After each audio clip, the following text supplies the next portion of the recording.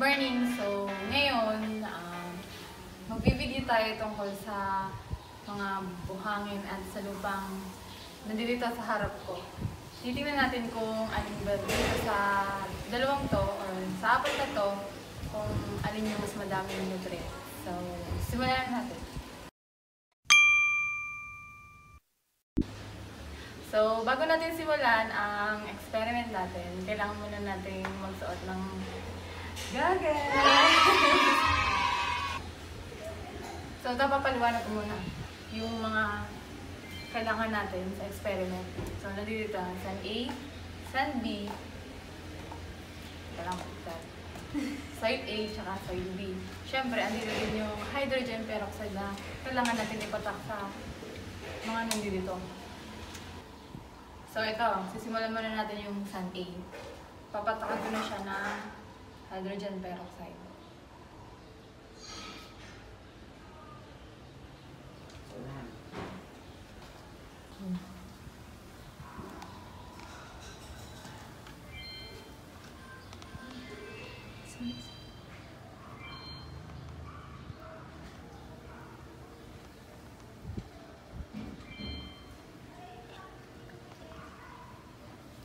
So ngayon, sun B naman tayo.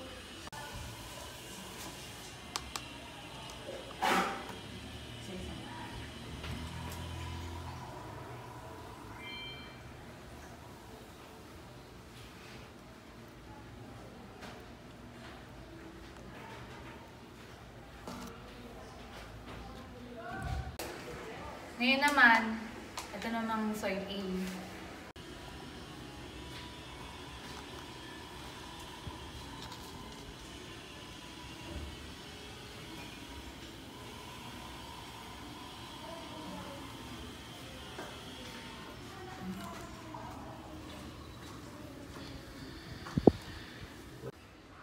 At yung last, yung soil B.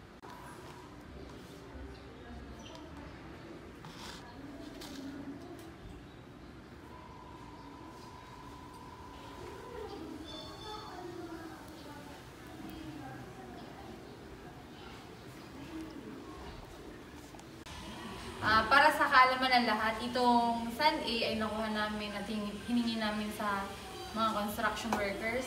Tapos itong Sun B, kinuha namin ito malapit sa may dagat.